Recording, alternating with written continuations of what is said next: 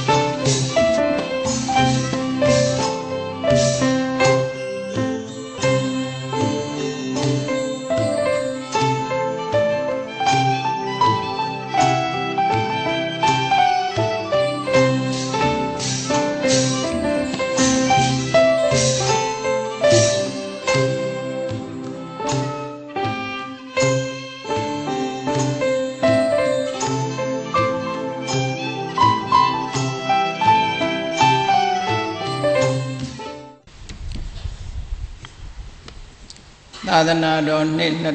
2552ခုနှစ်ကောဇာတက္ကရာ1380ပြည့်နှစ်တဘူရဲလာပြီကျော်10ရက်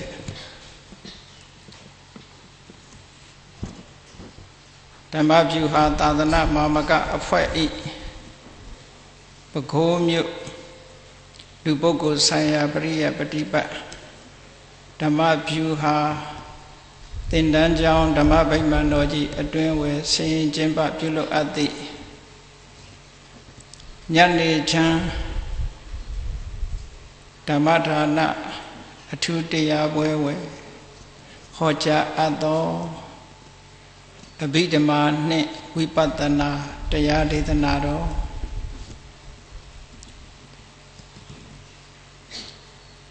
ညနေချမ်းဓမ္မသဘင်ခန္ဓာကိုမစတင်မီ ရွှေဘုန်းတော်သခင်ရှင်တော်မြတ်ဖရာဤမဟာကရုဏာဂုဏ်ကိုအာယုံပြုကာတိကျုဖွဲ့ဆိုအပ်သောဝန္ဒနာပနာမအာတိတဂါထာကိုရွတ်ဆိုပူဇော်ကြရအောင်ယောကပကောတိဟိပိယပမေယံကာလံကရွန်တောတိဒုက္ကရာနိခေရံကတောလောကဟိတယာနာထော နမောမဟာကာရုဏိကတတတ္တာ ယောနာထောဝိနိယများစွာတတ္တဝါဤချမ်းသာစီးပွားလိုလားတောင်းတဂုံပေါင်းခါသဖြင့်နာထမြညာခြင်းရှင်တော်မြတ်ဖရာသည်ကပ္ပကောတိဟိပိဂရေကဘာအရေးအတွက်သင်္ချာတို့ဖြင့်တော်လဲအဘေမေယံရည်တွေတိုင်းတာဖော်ပြခြင်းဟာမစွမ်းနိုင်ပါသော ကာလံလေးအသင်ခြေသိမ့်နေကပါရှိကြသောကာလပတ်လုံးလောကဟိတယတတလောကဤအကျိုးစီးပွားအလုံးငါအတိတကရာနိဥ္စာသက်ချေလက်အင်္ဂါမေတ္တာကြီးမာသမိတာနှင့်တထာဇနီဆွန်ញင်းကြီးဟုကျက်တိထဝေငါးသွဲအစုအလုံးခဲရင်သောအမှုတို့ကို ကရွန်တော်ဖျားဖြစ်ရန်ဤတန်ကြုတ်ကုတ်အထုတ်တော်မူရသည်ဖြစ်၍ခေရလက်ချေမျက်လုံးအသက်ဆုံးရဲ့နှလုံးစိတ်ဝံကိုရောဤပင်မခြင်းတို့ကတောဘဝတဏ္ဍကျိန်ဖန်များစွာ ရောက်တော်မူကြရအရှာလေပြီမဟာကရုဏီကတတတ္တဝါများယင်ဝေတာကဲ့သို့တနာချစ်ခင်မဟာကရုဏာရှင်ဖြစ်တော်မူသော တသနာတသဝိနည်းများစွာတတ္တဝါဤချမ်းသာစီးပွားလိုလားတောင်းတဂုံပေါင်းခါသဖြင့်နာထမြညာထိုးရှင်တော်မြတ်ဖရာအားနမောယုတိပြောင်းပြောင်းမှန်ကိုလျော်၍ကရောယုကျိုးရှိခိုးခြင်းသည်အထုဘဝတုစင်စစ်မသွေဖြစ်ပါစေတည်း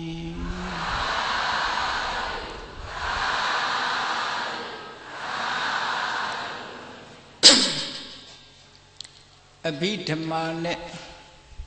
ဝိပဿနာဓမ္မဆိုတဲ့စကားလုံးကိုအဘိဆိုတဲ့ရှေးကဝိသေသနာပုတ်ထည့်ပြီးတော့သုံးလုံးထားတဲ့ဘဘုရားမြတ်စွာဟောကြားတော်မူခဲ့တဲ့အလွန်အလွန်လေးနဲ့ပြီးတော့ခက်ခဲကြယ်ဝန်းလာတဲ့တရားဒေသနာတော်ကိုရည်ညွှန်းတာအပိရဲ့နေတိဘယ်တွေကိုများစွာဖွင့်ဆိုထားတော်လဲဒီနေရာမှာ အပိဓမ္မဆိုတာလေးနဲ့သောတရားနဲ့နဲ့သောတရားအပေါ်ယံတရားမျိုးမဟုတ်ဘဲနဲ့နဲ့နဲ့တဲ့တရားလောကလူတွေသိနေကြတဲ့တရားလောကလူတွေအထင်အမြင်ယူဆနေတဲ့နေ့စဉ်ဘဝမှာလူတွေပြောဆိုသုံးနှဲနေကြတဲ့သမုဒိသစ္စာလို့ဆိုတဲ့ပရမတ္ထပညတ္တိတရား သမုဒိသစ္စာလို့ဆိုတဲ့ပညတ္တိတရားဟာအပေါ်ယံကနေပြီးတော့လူတွေရဲ့အထင်အမြင်နဲ့ပြောနေကြတဲ့တရားမျိုးဖြစ်တယ်အဘိဓမ္မာတရားဆိုတာထိုနေ့စဉ်30ပြောဆိုနေတဲ့တရားတဲ့အတွင်းအနှစ်ကြပြီးတော့တမန်ပုဂ္ဂိုလ်တွေမမြင်နိုင်လောက်အောင်အတွင်းအနှစ်ကိုဖော်ထုတ်ထားတဲ့တရားမျိုးတဲ့ အပေါ်ယံအတိအချင်းသိထားတဲ့အရာသည်မှန်ကန်မှုရှိသလိုတခါတရံကြတော့မှန်ကန်မှုလည်းမရှိဘူးပေါ့အတွင်းအနှစ်တဘာဝအစ်စ်ဆိုတာကြတော့မှားယွင်းမှုလုံးဝမရှိဘူးတဲ့ဒါကြောင့်မို့လို့အဘိဓမ္မဆိုတာလေးနဲ့တဲ့တရား profound doctrine လို့ဒီလိုဘာသာပြန်ကြလေးနဲ့တဲ့တရား အဲ့တော့လေးနဲ့တဲ့တရားအတွင်းအနှစ်အသာရဆိုတာဘာပြောတာတော့ဆိုလူတွေရဲ့တဏ္ဍာမှာဖြစ်တဲ့ရုပ်တရားနဲ့နံတရားအပေါ်ယံအပြင်လူလို့ပြောနေကြတော့လည်းပဲအတွင်းအနှစ်သာရချိမယ်ဆိုလို့ရှိရင်အားလုံးဟာတူတူပဲရုပ်နဲ့နံနှမျိုးနဲ့ပေါင်းစပ်ထားတာအဲ့ဒီသဘာဝတရားတွေကိုအသေးစိတ်ရှင်းလင်းပြတဲ့ဒေသနာတော်ကိုအဘိဓမ္မာလို့ခေါ်တာ ဒီဗိဓမာကိုသင်ရတာသိရတာတတ်ရတာဘလို့အကျိုးကျေးဇူးတွေရှိသလဲဆိုရင်ထူးခြားတဲ့ဉာဏ်ရည်ဉာဏ်သွေးတွေကိုရရှိနိုင်တယ်ပေါ့တန်တရားတစ်ခွင်မှာဘယ်တော့မှမမြင်ခဲ့ရတဲ့ဘယ်တော့မှမသိခဲ့ရတဲ့အတွင်းအနှစ်သာရပိုင်းကိုသိနိုင်မြင်နိုင်စွမ်းရှိတဲ့အသိပညာမျိုးကိုရတယ် ဒါကြောင့်မို့အဘိဓမ္မာလေးလာရတယ်ဆိုတာဟာအတွင်းကြကြအနှစ်သာရပရမတ္ထကိုသိရှိရသည့်အတွက်ကြောင့်ထူးခြားတဲ့ဉာဏ်ရည်ဉာဏ်သွေးကိုရရှိနိုင်တယ်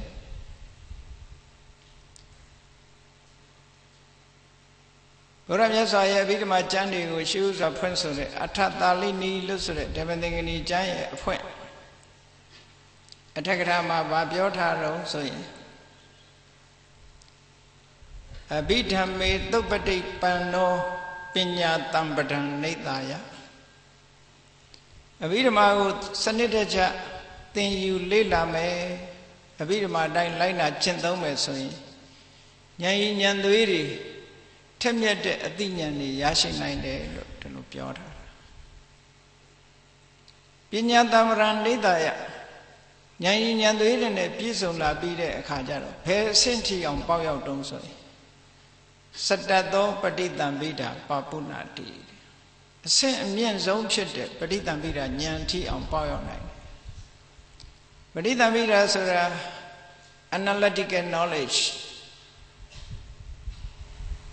တလုံးနဲ့တခဲတဲ့တစ်ခုတည်းလို့ဘယ်တော့မှမမြင်မဲနဲ့အရာခတ်သိမ်းဟာစုတီးနေတယ်ထိုစုတီးနေတဲ့အရာတွေကိုခွဲခြားစိတ်ဖြာပြီးတော့သိတဲ့အသိမျိုးတဲ့ ပဋိသင်္ပိဒခွဲခြားစိတ်ဖြာပြီးသိတယ်ခွဲခြားစိတ်ဖြာပြီးတော့သိနိုင်တယ်ဆိုတဲ့ဒီပဋိသင်္ပိဒဉာဏ်မျိုးဆိုတာယဟန္တာပုဂ္ဂိုလ်တိုင်းတောင်ရရှိနိုင်တာမဟုတ်ဘူးတမန်ပုထုဇဉ်ပုဂ္ဂိုလ်တွေမပြောနဲ့အချို့ယဟန္တာပုဂ္ဂိုလ်တွေဟာပဋိသင်္ပိဒဉာဏ်မျိုးကိုရတာမဟုတ်ဘူး ထူးခြားတဲ့ဉာဏ်ရည်ဉာဏ်သွေးရှိပြီးပါရမီကုသိုလ်ဓုတွေစီးပူးခဲ့တဲ့ယဟန္တာပုဂ္ဂိုလ်မျိုးမှသာလင်ပဋိသင်္မိဒဉာဏ်ဆိုတာရတယ်တဲ့ပဋိသင်္မိဒဉာဏ်ကလည်းပဲတိခတ်ပုဂ္ဂိုလ်တွေရနိုင်တဲ့ပဋိသင်္မိဒဉာဏ်မျိုးယယဟန္တာပုဂ္ဂိုလ်တွေလို့ခေါ်တဲ့အသိခပုဂ္ဂိုလ်တွေမှရနိုင်တဲ့ပရိသမိတာဉာဏ်မျိုးလို့အစဉ်တန်းခွဲပြားခြားနားမှုရှိသေးတယ်အဲ့ဒီပရိသမိတာဉာဏ်နှမျိုးလုံးဟာ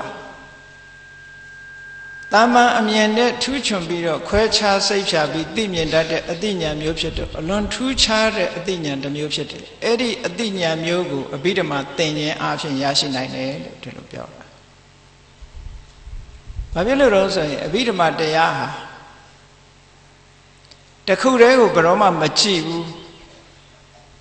ပညာအနေနဲ့တခုလို့ပြောထားတာအဘိဓမ္မာကနေခွဲခြားစိတ်ဖြာပြီးတော့ကြည့်တယ် တခုလို့ထင်နေရတဲ့အရာသည်တခုမဟုတ်ဘူးအလုံးစုပြီးတော့တည်ရှိနေတဲ့အရာကို လူတွေကအများဆုံးကတခုလို့ဒီလိုထင်နေကြတယ်အေးဗိဓမာကိုသင်လိုက်တဲ့အခါကျတော့တခုဆိုတာမဟုတ်ဘူးစုတည်နေတဲ့အရာသာလည်းဖြစ်တယ်စုအဝေးနဲ့တည်ရှိနေတဲ့အရာသာလည်းဖြစ်တယ်ဆိုတာခွဲခြားစိတ်ဖြာနိုင်တဲ့အသိဉာဏ်ရလာနိုင်တယ်ပေါ့ ဒါကြောင့်မို့လို့အဘိဓမ္မာသင်တဲ့ပုဂ္ဂိုလ်တွေဟာထူးခြားတဲ့ဉာဏ်ဉာဏ်သွေးတွေကိုရလို့မဲ့ဖို့နိဗ္ဗာန်ရဖို့အတွက်ဝိပဿနာတရားကျင့်စဉ်အထောက်တဲ့အခါမှာပို့ပြီးတော့လွယ်ကူမှုရှိဘာဖြစ်လို့တော့ဆိုအဘိဓမ္မာသင်လိုက်လို့ရှိရင်အနုဘောဓဉာဏ်လို့ခေါ်တဲ့လျော်စွာသိတဲ့ဉာဏ်အနုဘောဓဉာဏ်ဆိုတာ proper knowledge ပฏิဝေဒဉာဏ်နဲ့လျော်တဲ့ဉာဏ်မျိုးလျော်တယ်ဆိုတာတကယ်သိတဲ့အသိဉာဏ်နဲ့အသိအတိုင်းပဲသိတဲ့ဉာဏ်မျိုးကိုအနုဘောဓဉာဏ်လို့ခေါ်တယ်ဒီကနေ့ခေတ်တော့အနုဘောဓဉာဏ်ကိုလွယ်လွယ်နဲ့အင်္ဂလိပ်လိုပြောတဲ့အခါမှာ book knowledge လို့ပြောကြတယ်စာအုပ်ထဲကရတဲ့အသိပေါ့ စာအုပ်ထဲကရတဲ့အသည့်ကလည်းတကယ်လက်တွေ့အသည့်နဲ့တူတာမျိုးရှိတယ်မတူတာရှိတယ်တကယ်လက်တွေ့သိတဲ့အသည့်နဲ့တူညီတဲ့အသည့်မျိုးဟာဒါအနုဘောဓညာပဲအဲ့ဒီအနုဘောဓညာရပြီးတော့မှပฏิဝေဒညာဆိုတာထွန်းဖောက်ပြီးတော့ထိုးထွင်းသိမြင်တဲ့ပฏิဝေဒညာမျိုးရနိုင်တယ်ပฏิဝေဒညာကြတော့ penetration လို့ဒီလိုအင်္ဂလိပ်လိုပြန်ပြီး direct knowledge လို့လည်းဆိုတယ် တိုက်ရိုက်သိတဲ့အသိပေါ့ကိုယ်တိုင်လက်တွေ့ကျင့်သုံးပြီးတဲ့အခါတိုက်ရိုက်သိတဲ့အသိနဲ့စာလာပေလာအရတွေးဆမှန်းဆပြီးတော့သိရတဲ့အသိဒီအသိနှမျိုးဟာမတူထူးခြားတယ်အဲ့ဒီအသိနှမျိုးစလုံးကိုအထောက်ကူပြုတယ်အဘိဓမ္မာအဘိဓမ္မာသင်ယူခြင်းဖြင့်ဝိပဿနာဉာဏ်ပွားများတဲ့အခါမှာရှေးဥစွာအနုဘောဓ proper knowledge ကိုရတယ်ထို့နောက် direct knowledge လို့ခေါ်တဲ့ပฏิဝေဒဉာဏ်ကိုရတယ်အနုဘောဓဉာဏ်ဒီပฏิဝေဒဉာဏ်ကိုများစွာကျေစုပြုတယ်အထောက်ကူပြုတယ်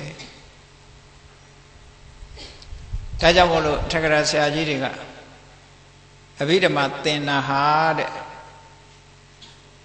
ထူးခြားလေးနက်တဲ့ပညာမျိုးကိုရရှိစေနိုင်တယ်လို့ပြောတာ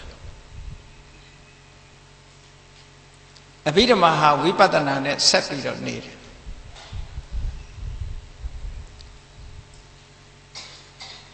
နိုင်ငံခြားတမ်းပြည်တွေမှာအဘိဓမ္မာသွားပြီးတော့သင်တန်းပို့ချတယ်ဂျာမနီတို့နယ်သာလန်တို့ဩစတြေးလျတို့စင်ကာပူမလေးရှားအစနိုင်ငံတွေတဲ့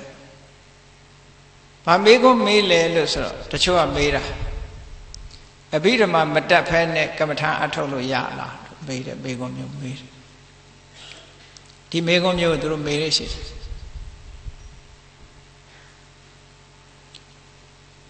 အဘိဓမ္မာမတတ်ဖဲဆိုတော့ကျမ်းစာကိုမသိဘဲနဲ့တရားထုတ်လို့တော့ရတော့ရတယ်သို့တော့ဝိပဿနာတရားအထုတ်ပြီးဆိုတဲ့ကရုပ်အကြောင်းနာမ်အကြောင်းသင်ကိုသင်ရမသင်လို့မရအဲ့ဒီရုပ်အကြောင်းနာမ်အကြောင်းခွဲခြားစိတ်ဖြာပြီးသိတာကိုကအဘိဓမ္မာပဲ အဲ့တော့တစ်ဖက်အားဖြင့်ပြောပဲဆိုလို့ရှိရင်အဘိဓမ္မာကျမ်းဂန်ကြီးတွေမတတ်ပေမဲ့လို့အဘိဓမ္မာကျမ်းဂန်ကြီးတွေရဲ့အနှစ်ချုပ်ကိုတော့သိရမယ်တဲ့ရုပ်တရားနံတရားဝိပဿနာရဲ့အာယုန်ဒီယုံနဲ့နံအစစ်မှန်ဖြစ်တဲ့မိမိတဏ္ဍာသူတော်ဘာတဏ္ဍာမှာဖြစ်တဲ့ယုတ်တဲ့နာမ်တွေကိုရှုမှတ်တာဖြစ်သောကြောင့်ဝိပဿနာဉာဏ်ရဲ့အရှုခံတရားကိုသိဖို့အမတန်မှလို့တယ်သူတို့ကိုပြန်မေးတယ် ကားအကြောင်းမသိဘဲနဲ့ကားမောင်းလို့ရလားမေးမယ်ဆိုလို့ရှိရင်ကားအကြောင်းမသိဘဲနဲ့ဆိုတာဆိုပါစို့ကားအင်ဂျင်ရဲ့အကြောင်းလည်းမသိဘူးပေါ့သို့တော့ကားမောင်းတဲ့လူတယောက်ဒီဘာသိရမလို့ဆို how to drive ဘယ်လိုမောင်းရမယ်ဆိုတာတော့သိရဟုတ်တော့ how to drive တော့သိရဒီတစ်ခုသိရင်ကားနဲ့သွားလို့မရဘူးလားရတယ် ကားအကြောင်းမသိပေမဲ့လို့ how to drive ကားကိုဘယ်လိုမောင်းရတယ်ဆိုတဲ့အသိဉာဏ်လေးရှိပြီဆိုလို့ရှိရင်ကားမောင်းလို့ရပြီကားမောင်းလို့ရပြီသူသိချင်မှသိမယ်ဘက်ထရီရဲ့စွမ်းဆောင်ချက်ကဘာလဲအင်ဂျင်ရဲ့စွမ်းဆောင်ချက်ကဘာလဲဟုတ်လားပက်ထရိုရဲ့ဓာတ်ဆီရဲ့စွမ်းဆောင်ချက်ကဘာလဲဘိန်းရဲ့စွမ်းဆောင်ချက်ကဘာလဲဆိုပြီးတော့အသေးစိတ်ကားပစ္စည်းတွေရဲ့အကြောင်း မသိပေမဲ့လို့ how to drive ဘယ်လိုမောင်းရမယ်လို့သိရင်မောင်းလို့ရတယ်ထို့တူပဲဝိပဿနာအားထုတ်လို့ရှိရင် how to practice တော့သိရမှာပေါ့ဘယ်လိုအားထုတ်ရမလဲဆိုတာသိရမှာပေါ့ဘာကိုအာယုံပြုရမှာဆိုတာကိုသိရမှာပေါ့အဲ့ဒါကြောင့်မလို့အဘိဓမ္မာဟာကျမ်းစာကြီးအနေတစ်ခုအနေနဲ့မသိမဲနဲ့ဝိပဿနာတရားအားထုတ်တဲ့ပုဂ္ဂိုလ်ဟာလည်းပဲ ရုပ်အကြောင်းနာမ်အကြောင်းသိတာဟာ how to drive ပဲအဘိဓမ္မာကိုသိတယ်လို့ပဲပြောရမယ်ဘာဖြစ်လို့တော့ဆိုရင်အဘိဓမ္မာတရားမှာအဓိကထားပြီးဟောတာရုပ်အကြောင်းနာမ်အကြောင်းပဲလေပရမတ္ထတရားကိုခွဲခြားစိတ်ပြပြီးဟောတာအ ਨੇ ဆုံးအဘိဓမ္မာ knowledge လို့ခေါ်တယ်ရုပ်တရားနံတရားကွဲပြားခြားနားမှု ဝိပဿနာဉာဏ်နဲ့ရှုရမယ်မှတ်ရမယ်ရုပ်တရားတွေအကြောင်းနံတရားတွေအကြောင်းဒါလောက်ကတော့သိရမှာပေါ့ရုပ်ရဲ့သဘာဝကိုသိရမယ်နာမ်ရဲ့သဘာဝသိရမယ်ထိုယုံနာနေစုပေါင်းပြီးတော့ဘယ်လိုအလုံးလုံးပြီးတော့ဘယ်လိုဆက်သွယ်နေတဲ့ဆိုတဲ့သဘောသဘာဝတွေကိုသိတာအဲ့ဒါလို့သိတာဟာ how to drive သိတာနဲ့တူတူပဲပေါ့ဒါကြောင့်မို့လို့တပိုင်းကပြောမယ်ဆိုလို့ရှိရင်အဘိဓမ္မာကျမ်းစာကြီးတွေမသင်မဲနဲ့ ဝိပဿနာတရားအထုတ်လို့ရလားဆိုရင်ကျမ်းစာအနေနဲ့မသင်မဲအထုတ်လို့တော့ရတယ်သို့တော့အဘိဓမ္မာမှာလာတဲ့ယုတ်တရားနံတရားတော့သိရလိမ့်မယ်ထိုယုတ်တရားနံတရားမှာမကွဲဘူးဆိုလို့ရှိရင်ဝိပဿနာဉာဏ်ရဲ့အခြေခံဖြစ်တဲ့နာမရူပပြိစေရဉာဏ် analytical knowledge of mind and matter ဒါကယုတ်ဒါကနာလို့ခွဲခြားစိတ်ချပြီးတော့သိတဲ့အသိဉာဏ် အဲ့ဒီနာမရူပပြိစေရဉာဏ်မရှိဘဲနဲ့ဥရိယဗျာဉာဏ်တို့သမတနာဉာဏ်တို့ဥရိယဗျာဉာဏ်တို့ဆိုတာမဖြစ်နိုင်မဖြစ်နိုင်အဲ့တော့အဘိဓမ္မာဆိုတာတခြားလားလို့မေးလို့ရှိရင်အဘိဓမ္မာဆိုတာနာမရူပပြိစေတာပဲရုပ်တည်နံတွေကိုခွဲခြားစိတ်ဖြာပြတာအဘိဓမ္မာပဲအဘိဓမ္မာသင်တယ်ဆိုတာရုပ်နဲ့နံနဲ့ကွဲပြားသွားအောင်ရုပ်တဘာဝနံသမားတစ်ပါးတွေကိုအသေးစိတ် လေ့လာသင်ယူတာဒါအဘိဓမ္မာပဲအဲ့ဒီအသိဉာဏ်လေးမှမရှိဘဲနဲ့ဝိပဿနာတရားအထုတ်မယ်ဆိုလို့ရှိရင်ဘာတွေဖြစ်လာနိုင်တော့ဆိုလို့ရှိရင်ပညာကိုပရမတ်ထင်ရင်ထင်နေမယ်တရားဓုတရားမြတ်မဟုတ်ဘဲနဲ့တရားဓုတရားမြတ်ထင်နေတာဖြစ်လိမ့်မယ်ဘုန်းကြီးတို့သီရိလင်္ကာနေတော့ကအမျိုးသမီးတယောက်မိကုံတစ်ခုလာမေးဘူးတယ် သူကမ္မထမ်းထိုင်နေတဲ့ကမ္မထမ်းထိုင်တဲ့အခါမှာ7မိနစ်15မိနစ်လောက်ရောက်တဲ့အခါကျတော့ရှုမှတ်စရာအာယုန်တွေရော ရှုတဲ့စိတ်ရောအကုန်လုံးပျောက်ပြီးတော့သွားတယ်တဲ့အဲ့ဒါဟာနာမရူပនិရောဓလို့ခေါ်တာနိဗ္ဗာန်ဆိုင်တယ်လို့နိဗ္ဗာန်ဆိုင်တယ်လို့ပြောနိုင်သလားလို့ဆိုမပြောနိုင်ပါဘူးအဲ့ဒါအိပ်ပျော်သွားတာပဲဖြစ်မှာပေါ့လို့ နိဗ္ဗာန်ဆိုင်တယ်သိတယ်ဆိုတာကအသိဉာဏ်ကရှင်းရှင်းလေးနဲ့သိနေရမှာလေသူကအတိတောင်မရှိတော့ဘူးဆိုတော့သူ့ကိုသူတော့ဘလို့ထင်တော့ဆိုနာမရူပនិရောဓနာနဲ့ယုံနဲ့ချုပ်သွားပြီလို့ဒီလိုထင်တာဟုတ်တာပေါ့အဲ့နေပါမသိတော့ဘူးခုခေတ်တချို့တွေကလေအလေးချင်းရှိတယ်ကမ္မထမ်းကြာကြာထိုင်တဲ့လူတွေကထိုင်ရင်အိတ်တတ်တဲ့အလေးချင်းရှိတယ် ကားခရီးသွားပြီးတော့ကားနဲ့မောင်းတဲ့ပုံကိုယ်တွေကလည်းပဲငိုက်ပြီးတော့ကားမောင်းတတ်တဲ့အိတ်ပြီးတော့ကားမောင်းတဲ့အလေးချင်းရှိတယ်တချို့ငိုက်နေအိတ်အိတ်ရင်မောင်းသွားတာတွေရှိတယ်ခုခေတ်စကားနဲ့ပြောမယ်ဆိုမတိစိတ်တို့တိစိတ်တို့နဲ့ပေါ့လေသူကသူလမ်းကြောတော့တဲ့နေတာဒါပေမဲ့လူကအိတ်မလင်ဘူးပေါ့အဲ့ဒီလိုဟာမျိုး ဝိပဿနာရှုပြီးတော့မလင်တဲ့စိတ်နဲ့ဝိပဿနာရှုနေမယ်ဆိုလို့ရှိရင်အတိညာဏ်တူဘယ်လိုလုပ်ရရနိုင်အတိညာဏ်ဆိုတာကြည်လင်တဲ့ကြည်လင်လာမယ်ရှင်းတဲ့ရှင်းလာပို့ပုတ်ပြီးတော့မြင်လာတာမျိုးဖြစ်ရမယ်တောက်ပြောင်လာရမယ်အေးဒါကြောင့်မို့လို့အဘိဓမ္မာကို လေ့လာခြင်းဖြင့်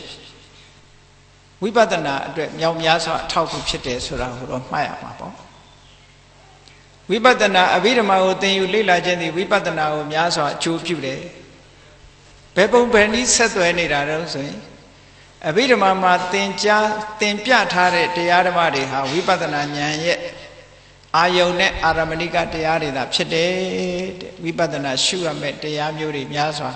ရှင်းလင်းဖော်ပြထားတာဖြစ်တယ်ဒါကြောင့်ဝိပဿနာကိုများစွာအထောက်အကူပြုတယ် အဘိဓမ္မာရဲ့အဓိကညာကဘာလို့ဆိုရင် နာမရူပပရိစ္ဆေဒညာ analytical knowledge of mind and matter နာမရူပပရိစ္ဆေဒညာဒီညာတစ်ခုတည်းနဲ့ဝိပဿနာအခြေခံရပါလားဆိုမရသေးဘူးနောက်တစ်ခုကဘာလို့ဆိုရင်ထို့နောက်နာယုတ်တည်းရဲ့အကြောင်းတရားကိုလည်းသိရအောင်နာယုတ်တည်းရဲ့အကြောင်းတရားကိုသိတာကိုပစ္စယပရိက္ခာညာလို့ခေါ်တယ် အဲ့ဒီဉာဏ်နှမျိုးသည်ဝိပဿနာရဲ့ foundation ပဲဝိပဿနာရဲ့ foundation ကိုဘယ်သူချပေးလဲဆိုရင်အဘိဓမ္မာချပေးအဘိဓမ္မာသည်ဝိပဿနာရဲ့ foundation အစစ်ပဲသုတ္တမယဉာဏ်ဆိုတဲ့သင်ကြားပြီးတော့လေ့လာပြီးတော့ရထားတဲ့ဒီသုတ္တမယဉာဏ်လေးကိုအခြေခံပြီးတော့ဘာဝနာမယဉာဏ်စွမ်းအားနဲ့ညှက်လိုက်မယ်ဆိုလို့ရှိရင်ဝိပဿနာသည်လွယ်လွယ်ကူကူနဲ့ ထက်ထက်မြက်မြက်ဖြစ်လာပြီးနောက်ဆုံးမှာသင်္ခါရတရားတွေသဘာဝကိုထင်ထင်ရှားရှားကြီးသိပြီးကိလေသာအတော်တွေကုန်ခန်းလို့မက်ဖို့လေးပါအဆင့်အဆင့်တက်သွားဒီနေရာမှာလည်းပဲစမ်းပြီးလို့ပြောအောင်မယ်မြန်မာပြည်မှာတော့ဒီအတွေ့မရောက်သေးဘူးနဲ့တူတယ်ဟိုမလေးရှားသွားတော့ကအင်တာနက်မှာ ဘုန်းကြီးတစ်ပါးမြန်မာပြည်မှာတရားလာအထုတ်တဲ့ဘုန်းကြီးတစ်ပါးနေပြီးတော့အင်တာနက်မှာဆောင်းပါးတစ်ပုဒ်တင်ထားတယ်ဒါတရားနဲ့ပြိဿတ်တွေသိတဲ့တယ်လို့ထင်လို့ဘုန်းကြီးကဖောက်တဲ့ချပေးအင်တာနက်မှာသူကဗာတင်ထားတော့ဆိုရင်သောတာပန်တဂရကံမဖြစ်ဖဲနဲ့အနာဂံတန်းဖြစ်လို့ရတယ်တဲ့ ဝိပဿနာဉာဏ်ရင့်တန်သွားလို့ရှိရင်သောတာပန်တောင်ဖြစ်เสียမလို့ဘူးတဂရကံအနာဂံခုံကျော်ပြီးတော့တက်သွားပြီးယဟန္တာတောင်ခုံကျော်ဖြစ်လို့ရတယ်လို့ယူဆသုတ္တပါဠိတော်တွေကိုသူကအကိုအကားဖြစ်ပြထားတယ်သူပြတဲ့ပါဠိထဲမှာအကိုအကားဆိုတာအင်္ဂုတ္တကဥက္ကသုတ်တို့ဥက္ကသုတ်ဆိုတာဆိုလိုရင်းကဥက္ခဆိုတဲ့တက္ကကြီးကသူ့ရဲ့ဓမ္မအရေးချင်းကိုဖော်ပြတဲ့အခါမှာသူဟာ ဩရံဘာဂိယတန်ရောစဉ်လို့ဆိုတဲ့တန်ရောစဉ်၅ပါးကာမဘုံနဲ့ပတ်သက်ပြီးဖြစ်တဲ့တန်ရောစဉ်၅မျိုးသူ့မှာပယ်ပြီးပါပြီလို့ပြောတာသူအနာဂံလို့ပြောတာအဲ့ဒီစကားကိုယူပြီးဒီလူကြီးဟာသောတာပန်မဖြစ်ဖဲတဂရဂံမဖြစ်ဖဲအနာဂံတန်းဖြစ်တယ်လို့သူကယူဆဖရာတောင်မှဖရာတန်းဖြစ်ရတာမဟုတ်ဘူးမြတ်စွာဘုရားတောင်မှအာနာပါနကမ္မထံကိုအားထုတ်ရင်းနဲ့ ပထမဖြစ်တာသောတပတ္တိမဲ့နဲ့သောတပတ္တိဖို့ဖြစ်တယ်ပြီးပြီဆိုတဲ့အခါကျတော့သောတပတ္တိမဲ့သောတပတ္တိဖို့ကထပြီးတော့ဝိပဿနာကိုအဆင့်ထပ်ညှန့်လိုက်တဲ့အခါမှာသဂရဂါမိမဲ့သဂရမိဖို့ဖြစ်တယ်ထပ်ပြီးဝိပဿနာကိုအရှိန်ပြင့်ပေးတဲ့အခါမှာအနာဂါမိမဲ့အနာဂါမိဖို့ဖြစ်တယ်ပြီးတဲ့အခါမှာဝိပဿနာကိုထပ်ပြီးတော့အရှိန်ညှန့်လိုက်မှအရတ္တမဲ့ရတ္တဖို့ဖြစ်တာတစ်ချိန်နဲ့နဲ့တခါတည်းသွားတာမဟုတ်ဘူးဆိုလိုတာက ပုရိသင်ပုဂ္ဂိုလ်ရဲ့ဝိပဿနာနဲ့သောတာပန်ပုဂ္ဂိုလ်ရဲ့ဝိပဿနာဉာဏ်ချင်းတူနိုင်ပါမလားတူနိုင်ဘူးသောတာပန်ပုဂ္ဂိုလ်ရဲ့ဝိပဿနာဉာဏ်နဲ့သဂရကံပုဂ္ဂိုလ်ရဲ့ဝိပဿနာဉာဏ်ရောတူနိုင်ပါမလားမတူနိုင်ဘူးအတိဉာဏ်ဆိုတာတစ်ခုနဲ့တစ်ခုကွာသွားတာကွာခြားသွားဆိုပါစို့လူတွေကထင်ကြတယ်တမ္မာဒိဋ္ဌိဆိုသူ့လည်းတမ္မာဒိဋ္ဌိရှိတာပဲငါလည်းတမ္မာဒိဋ္ဌိရှိတာဒါပေမဲ့တမ္မာဒိဋ္ဌိဟာဒီဂရီတွေ level တွေမတူဘူး လူတိုင်းမှာဖြစ်တဲ့ဓမ္မအည်အသွေးတွေကမတူဘူးဒါကြောင့်မို့အိန္ဒြေရင့်ကျက်တယ်မရင့်ကျက်ဘူးဆိုတာအဲ့ဒါကိုပြောတာတတ္တဆတဲ့အိန္ဒြေတွေရင့်ကျက်ပြီးတော့ထက်မြက်လာတဲ့အခါရှိတယ်ဒီဗျာမပြောနဲ့လူမပြောတော့တရသီးတောင်တစ်ပင်ကအသီးလေးတွေကြည့်တရသီးလေးတွေကြည့်အသီးတိုင်းတခါတည်းမှဲ့တာဟုတ်ကလားအဆင့်ဆင့်သွားတာနော်အဆင့်ဆင့်သွားတာတရထဲနဲ့မှဲ့လို့မရဘူး အေးအဲ့ဒါလို့ဒါက interpretation problem လို့ခေါ်တယ်အတိတ်ရဲ့အယူအဆဘာသာပြန်ပုံမှားယွင်းချွတ်ချော်မှုတွေပေါ့သာသနာမှာဒါမျိုးတွေလည်းဖြစ်လာနိုင်တယ်နောက်ကြလို့ရှိရင်ရသော်ဘုရားသခင်ကိုရောမြတ်ကမက်ဖို့နိဗ္ဗာန်ဆိုတာဖားခုံတယ်လို့ခုံပြီးမရောက်နိုင်ဘူးတဲ့နာအာယတကေတဏိကေနေဝအညာပฏิဝေတော စစချင်းရတ္တဖို့ထိုးရင်းသိတယ်ဆိုတာမရှိနိုင်ဘူးအနုပုပ္ပပฏิပဒါအနုပုပ္ပသိက္ခာအနုပုပ္ပပฏิပဒါအစဉ်အတိုင်းကျင့်ရတယ်အစဉ်အတိုင်းလေ့ကျင့်ပြီးတော့ယူရတယ်လို့ဒီလိုပြောတာအဲ့ဒါလို့ကျင့်သုံးမှအဆင့်ဟာတဖြည်းဖြည်းမြင့်လာဒါတော့လောကမှာလည်းထင်ရှားပါတယ်လေကလေးတွေကြောင်းနေပြီးတော့ပညာသင်တာပဲကြည်အောင်ပေါ့ သူ့ level နဲ့သူသွားတာပဲမဟုတ်လားမူလာရန်အဆင့်မှာမူလာရန်အဆင့်ကိုအရင်သင်ရတယ်ပြီးတော့အလယ်တန်းအဆင့်သင်ရတယ်ပြီးတော့အထက်တန်းအဆင့်သင်ရတယ်နောက်ပြီးတော့တက္ကသိုလ်အဆင့်သွားတယ်တူပါမလားမတူဘူးအဲ့ဒီတိုင်းပဲကျင့်စဉ်တစ်ခုကဘယ်တော့မှအစခုံကျော်သွားလို့မရဘူးတဲ့သူကလည်းသူသွားတာသို့တော့ ထက်မြက်တဲ့ပုံကိုယ်တွေကြတော့တထိုင်နဲ့နဲ့သောတာပတ္တိမေသောတာပတ္တိဖို့သဂါရမိမေသဂါရမိဖို့ဝိထိစိတ်ကလေးလောက်တင်ချားပြီးတော့ mental process တစ်ဆက်တည်းဖြစ်သွားတာမျိုးဖြစ်တယ်အဲ့ဒါလို့တစ်ဆက်တည်းဖြစ်သွားတာပဲဖြစ်နိုင်တယ်ခုံကျော်ပြီးတော့သွားတာတော့ဖြစ်နိုင်ဘူးအေးဒါကြောင့်မို့လို့အဘိဓမ္မာလေ့လာသင်ယူထားမယ်ဆိုလို့ရှိရင် မိမိတို့တဏ္ဍာမှာထူးခြားတဲ့အသိဉာဏ်နှစ်ခုကိုရနိုင်တယ်အဲ့ဒီထူးခြားတဲ့အသိဉာဏ်နှစ်ခုကနာမရူပပြိစေရဉာဏ် analytical knowledge of mind and matter ယုံနဲ့နံကိုခွဲခြားစိတ်ဖြာပြီးတော့သိတဲ့အသိအဲ့ဒီအသိကတတန်တရားလုံးမှားနေတဲ့အမှားတစ်ခုကိုတော်လှန်ပြစ်နိုင်တယ်တတန်တလာလုံးမှားနေတယ်ခုထိဆက်မှားနေတော့မယ်ဆိုတဲ့အမှားကဘာတော့ဆိုငါ သူတစ်ပါးယောက်ျားမိန်းမလို့ထင်းနေတဲ့အထင်ကြီးပျောက်မသွားဘူးလားယုံနဲ့နံနှမျိုးတည်းသာရှိတယ်လို့သိလိုက်တာတဲ့ဟုတ်လားဒါကအမျိုးသားပဲဒါကအမျိုးသမီးပဲဒါကငါပဲဒါပဲသူပဲဆိုတဲ့တတ္တတင်ညာတွေပျောက်သွားနိုင်တယ်တဲ့မှားယွင်းနေတဲ့အယူဆတရားကိုပျောက်သွားစေနိုင်လို့ထိုအယူဆတရားကို ရှင်းပြလိုက်လို့ဒီအမြင်က ထိုယူဆတရားကိုရှင်းပြလိုက်လို့ဒါကိုဒိဋ္ဌိဝိတုဒ္ဓိလို့ခေါ်တယ်ဒိဋ္ဌိဝိတုဒ္ဓိနာမရူပပြိစေရဉာဏ်ရလိုက်လို့ရှင်ဒိဋ္ဌိဝိတုဒ္ဓိဒိဋ္ဌိဆိုတာဘာကတော့မှန်ကန်တဲ့အမြင်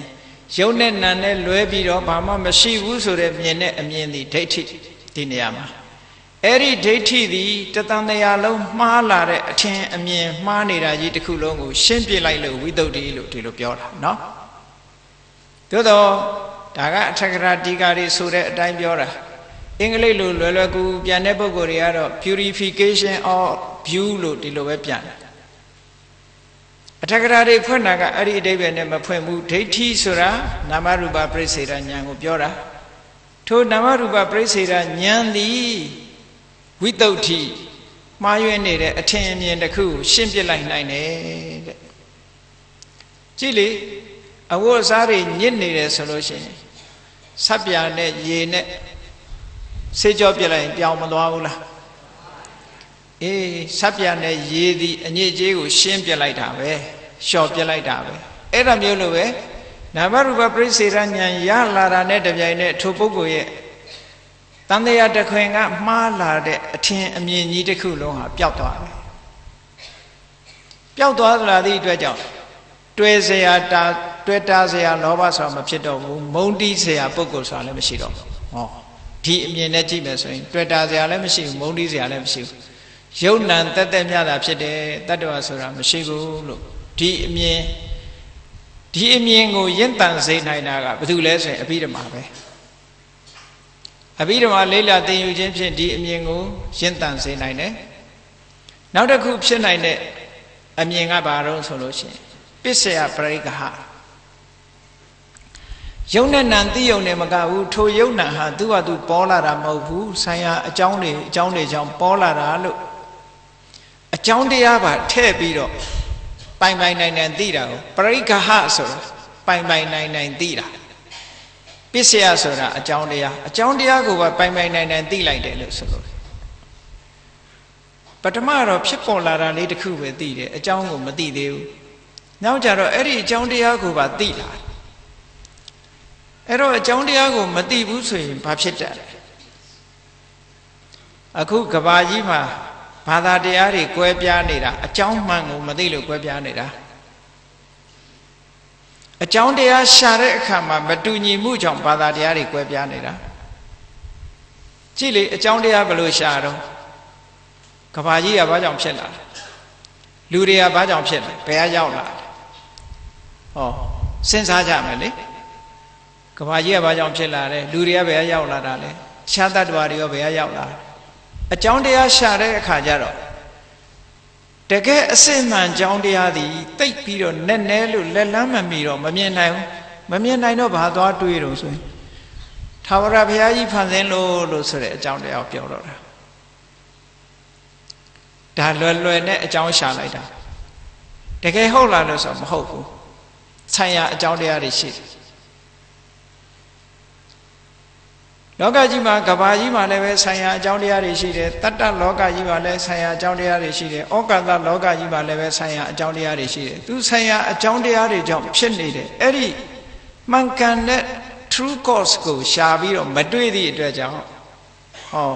သာဝရဘုရားဖန်ဆင်းလို့ကဘာကြီးဖြစ်လာရတယ်လူသားတွေဖြစ်လာရတယ်ဆိုတဲ့အယူမှားရွံ့တဲ့အယူဆတရက်ပေါ်လာအဲ့ဒါကိုဝိသမဟေတုဒိဋ္ဌိလို့ခေါ်တယ် မမှန်မကန်တွေးခေါ်လာတဲ့အမြင်တစ်ခုတဲ့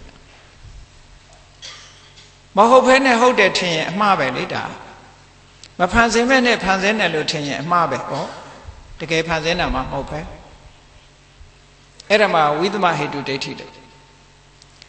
အဲ့ဒါကိုလက်ခံသူရှိတယ်လို့လက်မခံတဲ့လူလည်းရှိတယ်တချို့ကြတော့ အလေးနဲ့မစင်စားလို့ဘူးအကြောင်းလည်းမရှာလို့ဘူးကြတော့ဘာပြောတော့ဆိုရင် causeless ဘာကြောင့်မှမရှိဘူးသူကသူဖြစ်တာလို့ပြောကြအဟေတုကဒိဋ္ဌိလို့ခေါ်တယ်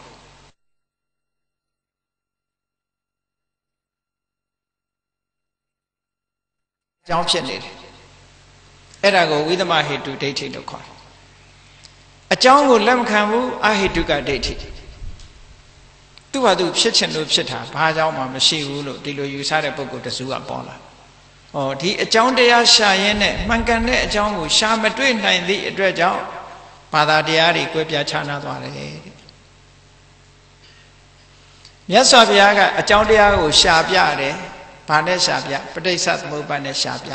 ။သစ္စာ၄ပါးနဲ့ရှာပြတယ်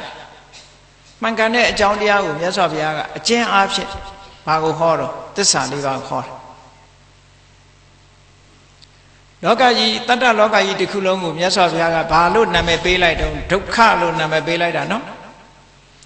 ဒုက္ခဆိုတဲ့အဓိပ္ပာယ်ကဆင်းရဲတာလို့ပြောတာမဟုတ်ဘူးဒီနေရာမှာဒုဆိုတာဆက်ဆုပ်မုံတီးเสียကောင်းပြီးခဘာမှမရှိဘူးလို့ပြောတာအဲ့ဒီအဓိပ္ပာယ်နဲ့ပြောတာဒုရဲ့အနက်ကခုတ်စိတမမှန်ကန်သည့်အတွက်ယုံမုန်းเสียကောင်းတယ် ခါကထင်တဲ့အတိုင်းတခုမှမဟုတ်ဘူးလို့ပြောတာထင်ထားတဲ့အတိုင်းတခုမှမရှိတာဒါကြောင့်မလို့ဒုက္ခကိုဒီနေရာမှာ suffering လို့မပြန်ကြဘူးတော်တော်များများကတော့ suffering လို့ပြန်ကြတယ်မှန်ကန်တဲ့အတိပ္ပယ်ကိုမရောက်နိုင်ဘူးအဲတချို့ကပြောင်းပြီးတော့ဘယ်လိုပြန်လို့ဆို unsatisfactoriness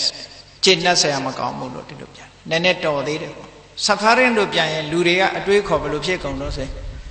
အေးချမ်းသာတာတွေလည်းအကုန်ဒုက္ခဟိုဟာတွေလည်းဒုက္ခဒုက္ခပဲရှိတယ်ဆိုဗုဒ္ဓဝါဒကဒုက္ခကြီးကိုကြည်နေတဲ့ဝါဒကြီးလို့ဆိုပြီး pessimism လို့ထင်မှားကုန်ကြတာ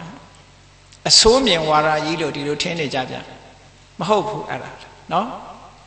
အဆိုးမြင်ဝါဒကြီးအဖြစ်ယူဆလာကြတကယ်တော့မြတ်စွာဘုရားကဒုက္ခလို့ဟောတာဒီစကားလုံးရဲ့အဓိပ္ပာယ်ကဒု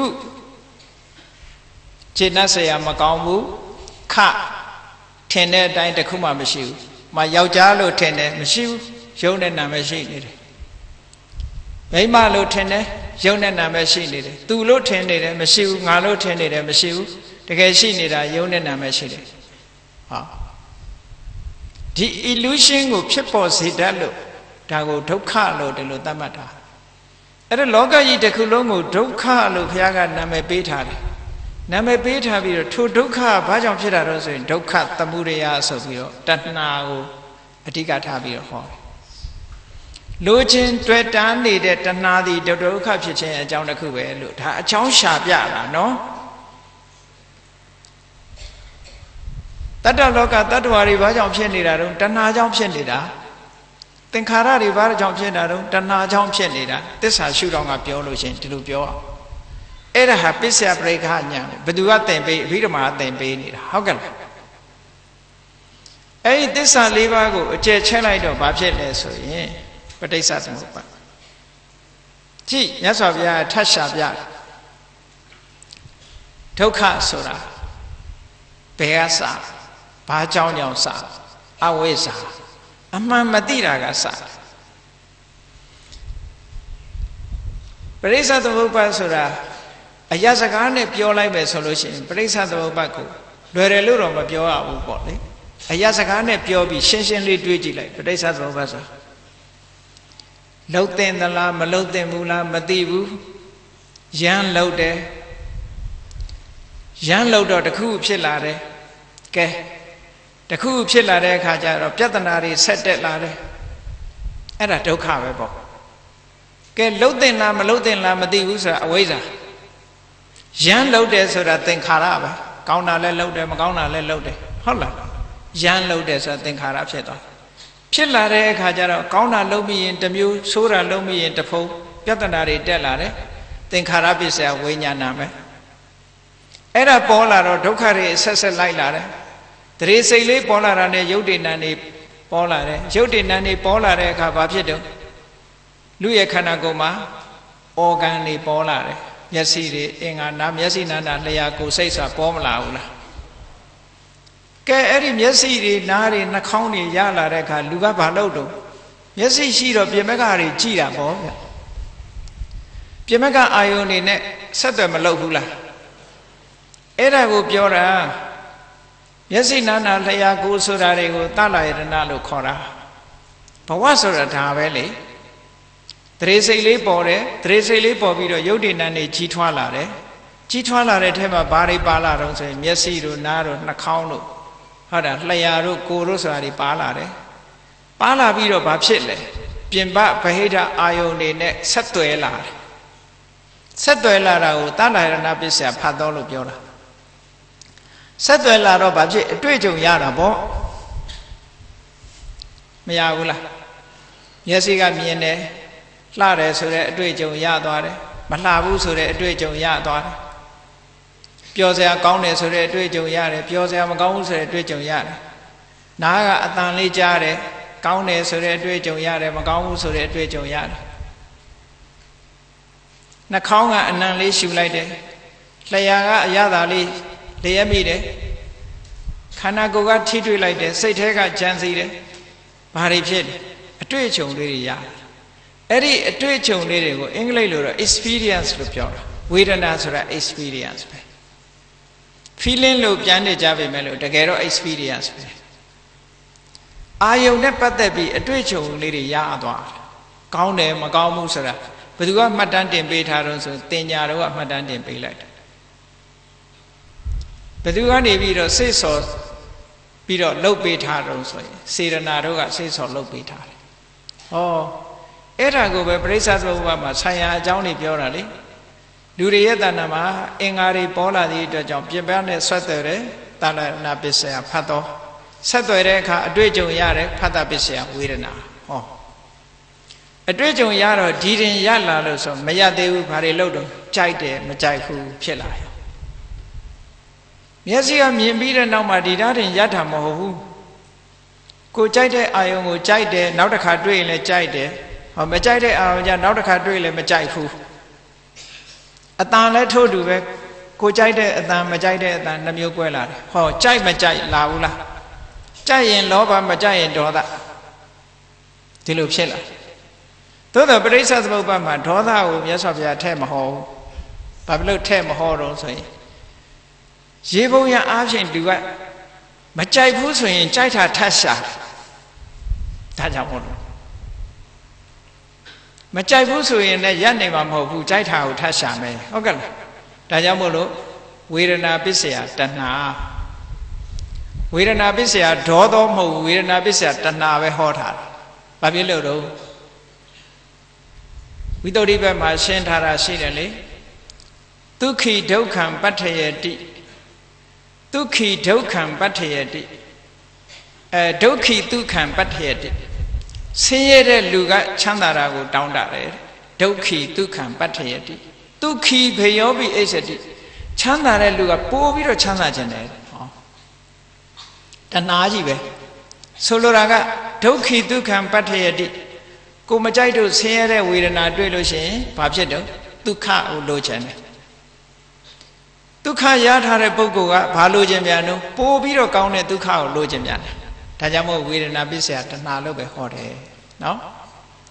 ဘဝဆိုတာဒါပါပဲအဲ့ဒါတွေကိုဘယ်သူကသင်ပေးတုံဆိုပြိဿသမုပ္ပါဘိဓမာကသင်ပေးနေတာနော်ဘိဓမာအဓိကထားပြီးတော့သင်ပေးနေတာအဲ့ဒါဘာလို့ဆိုရင်ပစ္စယပရိက္ခဉာဏ်ကိုရင့်တန်စေဝရအတွက်အကြောင်းတွေအကျိုးတွေကိုဆင်ញင်စဉ်းစားတတ်လာတယ်ဘဝဆိုတာဒါပဲ ကြိုက်လာတဲ့အခါဘာဖြစ်လောဘဖြစ်လောဘဖြစ်လာတော့ဘာဖြစ်လဲအစွဲလန်းတစ်ခုဖြစ်လာတယ်စွဲလန်းလာရင်ဘာဖြစ်လဲစွဲလန်းလာတော့ဘဝတစ်ခုတိဆောက်လာတာပေါ့ဘဝတစ်ခုတိဆောက်လာတဲ့အခါနောက်ဘာဖြစ်တော့ဇာတိဆိုတဲ့မွေးဖွားမှုတစ်ခါလာပြန်တယ်ဇာတိဆိုတဲ့မွေးဖွားမှုလာတာနဲ့နောက်ကဆက်လိုက်လာတာဘာတွေတော့အိုရာရဲ့သေရာရဲ့ဟုတ်ကဲ့လားစရာနဲ့မရဏနဲ့ဆက်လိုက်လာဟောတန်တရားဆိုတာဒါပဲ အဲ့ဒါကိုမြတ်စွာဘုရားပစ္စယပရိက္ခတကယ်အစစ်မှန်အကြောင်းတရားကိုရှင်းပြီးတော့ပြောတာအဲ့ဒီပစ္စယပရိက္ခညာ knowledge of causality ဆိုတာရှိပြီဆိုလို့ရှိရင်ဘာဖြစ်လဲကင်္ခာဝိတရဏဝိတုဒ္ဓိတန်တရားဆိုတာမရှိတော့ကမ္ဘာလောကကြီးဘယ်သူဖန်ဆင်းတာတော့ဆိုတာဖန်ဆင်းရှင်ရှာလို့တဲ့အကြောင်းပဲဖြစ်တာဆိုတဲ့အတွေးတွေဖန်ဆင်းရှင်ကြောင့်ဖြစ်တယ်ဆိုတဲ့အတွေးတွေလုံးဝပျောက်ပြီးတော့ ဉာဏ်ထဲမှာလုံးဝဆုံးဖြတ်သွားနိုင်တယ်အဲ့ဒါကြောင့်မလို့သူ့ကိုကင်္ခာဝိတရဏဝိတုဒ္ဓိလို့ခေါ်တယ်ကင်္ခာဝိတရဏတန်တရားတွေကိုကြော်လွှားသွားတယ်တန်တရားတွေကိုဖယ်ရှားပြစ်လိုက်ပြီးတော့ဝိတုဒ္ဓိစင်ကြယ်သွားတယ်တဲ့တန်တရားတွေကစင်ကြယ်ကြသွားနိုင်တဲ့အသိဉာဏ်မျိုးရသွားတယ်လို့ဒီလိုပြောတာเนาะအဲ့ဒီဒိဋ္ဌိဝိတုဒ္ဓိကင်္ခာဝိတရဏဝိတုဒ္ဓိ နာမရူပပရိစေရညာနဲ့ပစ္စယပရိက္ခညာဒီနှစ်ညာသည်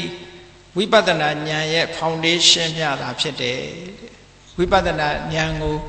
ဝိပဿနာတရားအထုတ်မဲ့ပုဂ္ဂိုလ်တိုင်းပုဂ္ဂိုလ်တိုင်းဟာဒီဉာဏ်နှစ်ခုရင့်တန်အောင်ရှေးဥစွာတုတ္တမယဉာဏ်နဲ့ရအောင်ကြိုးစားရမယ်မကြိုးစားဘဲနဲ့သွားရင် how to drive လို့မသိဘဲနဲ့ကားတက်မောင်းတဲ့လူဖြစ်မှာပဲ ကားကိုဘယ်လိုမောင်းအောင်မှလို့မသိပဲနဲ့ဟုတ်လားရုပ်နဲ့နာနဲ့အကြောင်းတရားကိုမှမသိပဲနဲ့ဝိပဿနာတက်အားထုတ်တာဘာနဲ့တူတုံးဆိုလို့ရှိရင်ကားမောင်းမသိပဲနဲ့ကားတက်မောင်းတာနဲ့တူမှာပဲဘလောက်အံ့နေရများလဲနော်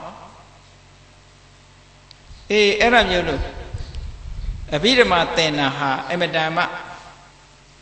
အခြေခံအားဖြင့်အမတန်တန်မိုးရှိတယ်ဒါကြောင့်မို့လို့ အထက်ကရာဆရာကြီးကပြောတာအဘိဓမ္မေသုပ္ပတိပန်နောပညာတံပရံနေတ္တာယစတတောပဋိတံပိတာပါပုဏ္ဏတိအဘိဓမ္မာကိုစနစ်တကျသင်ပြီးအဘိဓမ္မာတိုင်းလေးလိုက်နာကျင့်သုံးမယ်လိုက်နာကျင့်သုံးတယ်ဆိုတာဘာလဲဒီတိုင်းမတွေ့တွေ့အောင်ရှာကြမ်းတယ်လေ့ကျင့်တယ်အသိဉာဏ်နဲ့လေ့ကျက်ယူတယ် practice လုပ်တယ်ပေါ့အဲ့ဒါလို့ဆိုလို့ရှိရင် ထူးခြားတဲ့ပညာရပါလိမ့်မယ်တဲ့အဲ့ဒီထူးခြားတဲ့ပညာအခြေခံပြီးတော့နောက်ဆုံးမြင့်မားလာတဲ့ analytical knowledge လို့ခေါ်တဲ့ပဋိသင်္ပိဒဉာဏ်မျိုးကိုရနိုင်ပါတယ်လို့ဒီလိုပြောတာเนาะအဲ့တော့အဘိဓမ္မာနဲ့ဝိပဿနာဆိုတာလုံးဝဆက်ဆက်ပြီးတော့နေတယ်ကဲစဉ်းစားပြီးတော့ကြည့်အောင်ရုပ်နဲ့နံဆိုတာလေးတွေကိုအသေးစိတ်ကြည့်အောင်စာအုပ်ထဲမှာ ရှင်းပြထားတာကရှိသမျှဖြစ်သမျှရနိုင်သမျှအားလုံးကိုရသော်ဘုရားကတရားဒေသနာတော်မှာအကုန်ဟောတယ်သို့တော့အဲ့ဒီထဲကအသုံးချဖို့အတွက်ကြတော့လိုအပ်တဲ့ဟာလေးတွေကိုသိဖို့လိုတယ်ပေါ့လူတွေရဲ့တဏ္ဍာမှာအလုံးအဘိဓမ္မာလေးလာတဲ့ပုဂ္ဂိုလ်တိုင်း ပရမတ္ထလို့ဆိုတဲ့ထာဝရမှန်ကန်နေတဲ့အမှန်သို့ပဲကိုယ်ပုံကိုယ်ပိုင်ညာနဲ့သိနိုင်တဲ့အတိအတိနဲ့သိနိုင်တဲ့တရားဓမ္မပရမတ်၄မျိုးဆိုတာအလုံးသိကြတဲ့အတိုင်းစိတ်ရဲ့စေရသိက်ရဲ့ရုပ်ရဲ့နိဗ္ဗာန်အဲ့ထက်မှာနိဗ္ဗာန်ဆိုတာအတာထားလိုက်ဟုတ်ကဲ့လားနိဗ္ဗာန်ဆိုတာကမျက်မှောက်ပြုရမယ့်တရားအနေနဲ့ထားလိုက်စိတ်စေရသိက်ရုပ်နော်အဲ့ဒီထဲကိုအချင်းထပ်ချုပ်လိုက်မယ်ဆိုရင်စိတ်နဲ့စေရသိက်ကိုနံလို့ခေါ်တယ် ရုပ်ကရုပ်အဲ့တော့ပေါင်းလိုက်တော့ရုပ်နဲ့နံနှစ်ခုပဲရှိတယ်လို့ဒီလိုမှတ်ထားဟုတ်ကဲ့လားပရမတ္ထတရားဟာရှုမှတ်ပွားများဖို့ရာအတွက်ယုံနဲ့နံနှစ်ခုလို့အဲ့ဒီယုံနံနှစ်ခုလုံးဝခြုံငိမ့်သွားတာကိုနိဗ္ဗာန်လို့ခေါ်တာကဲကောင်းပြီရသော်ဘုရားကခန္ဓာ၅ပါးကိုဟောတဲ့အခါမှာသိလွယ်အောင်လို့ထင်ရှားတာကိုအရင်ဟောတယ်ရူပခန္ဓာဥစ္စာဟောတယ် နော်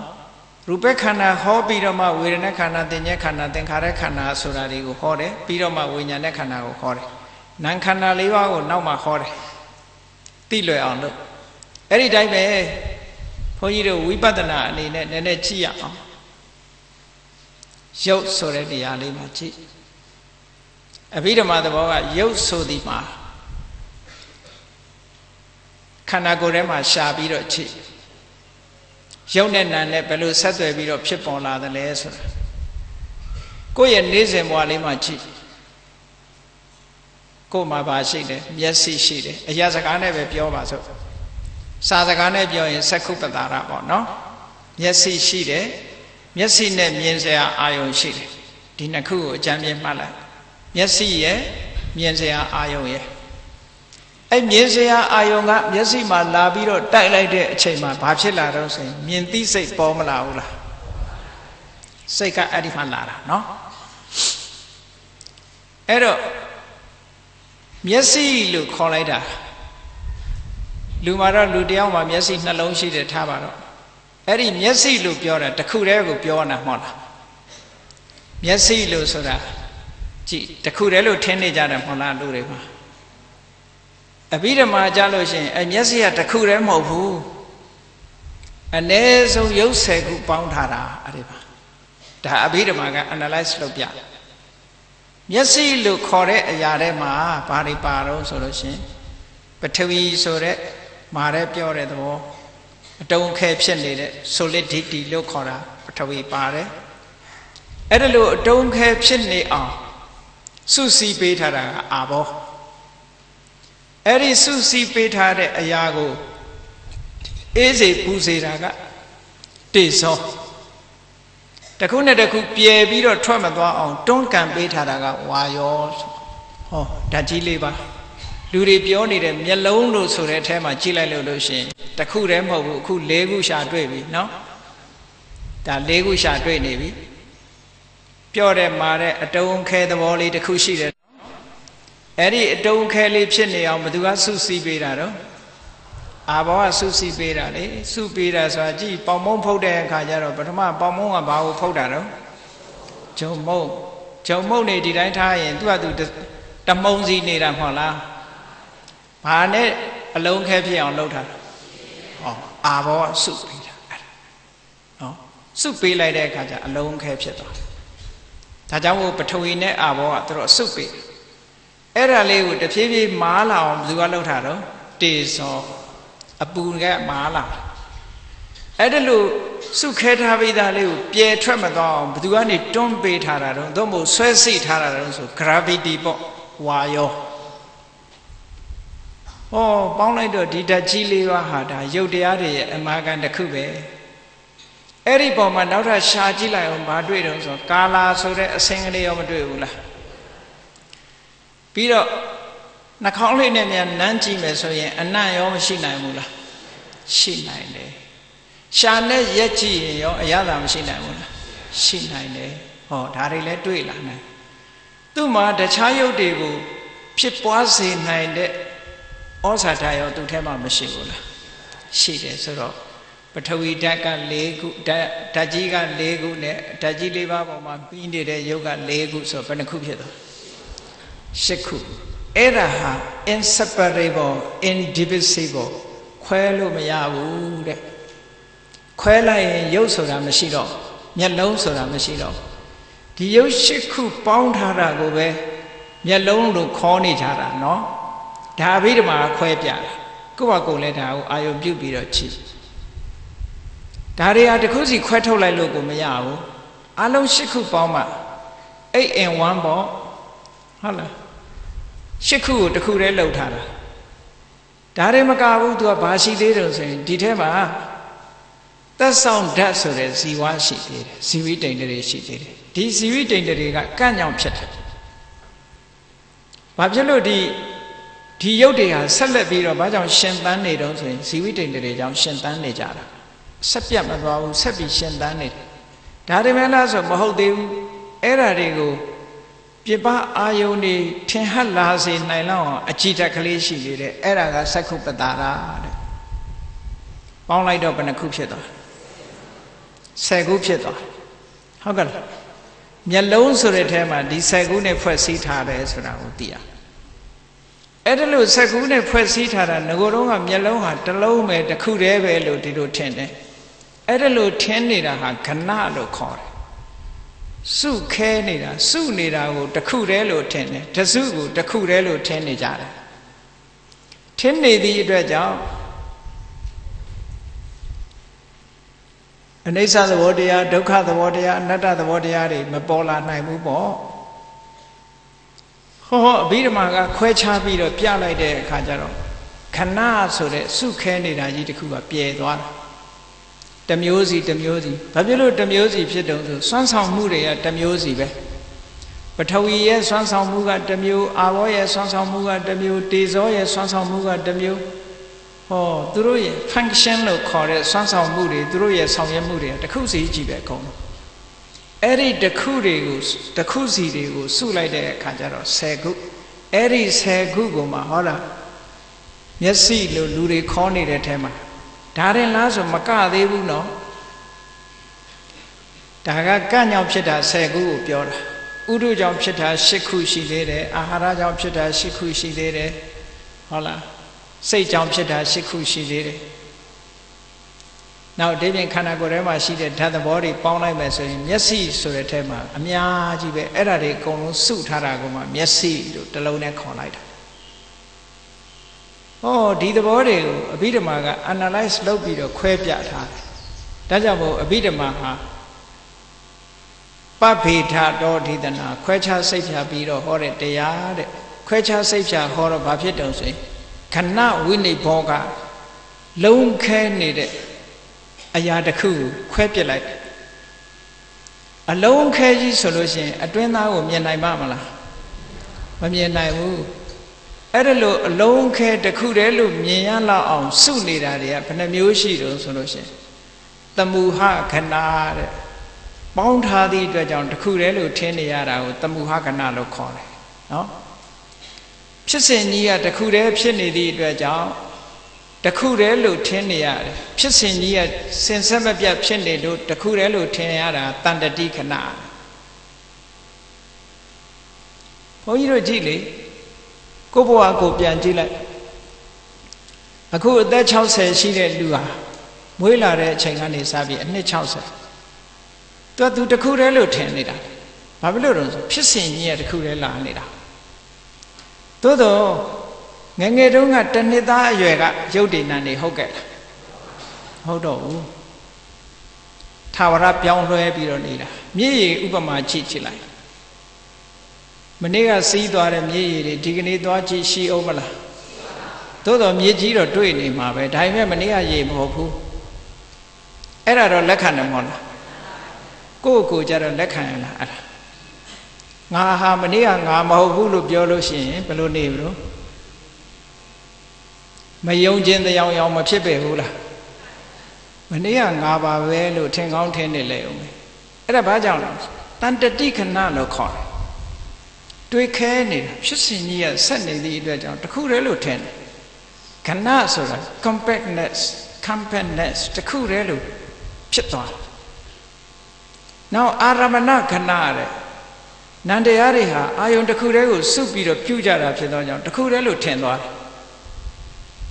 တစ်ခုတည်းတယောက်တည်းလို့ထင်သွားတယ်ကြည့်လေကားမှာကြည့်ပေါ့ကားလေးတစ်ခုကြည့်လိုက်အစိတ်ပိုင်းနေအကြမ်းမြင်ပြော ဘက်ထရီပါတယ်ပက်ထရိုပါတယ်အင်ဂျင်ပါတယ်ဘိန်းပါတယ်ကားဘောဒီပါတယ်ဒရိုက်ဘာပါတယ်ဖန်ရှင်ချင်းတူရလားဆောင်ရွက်ပုံချင်းတူရလား driver ရဲ့ function က driving ပဲမောင်းတာပဲသူတောက်အောင်ဒါပေမဲ့သူဒီဓာတ်စီလို့မလုံနိုင်ဘူး engine လို့မလဲနိုင်ဘူးဘိန်းလို့ကားလမ်းပေါ်မှာမပြေးနိုင်ဘူးဟုတ်ကဲ့လားသူလုပ်တဲ့အလုပ်ကဘာလို့ဆိုမောင်းတဲ့အလုပ်တစ်ခုပဲ ဒါသူ့ရဲ့အလုပ် petrol ကလည်း petrol အလုပ်ပဲ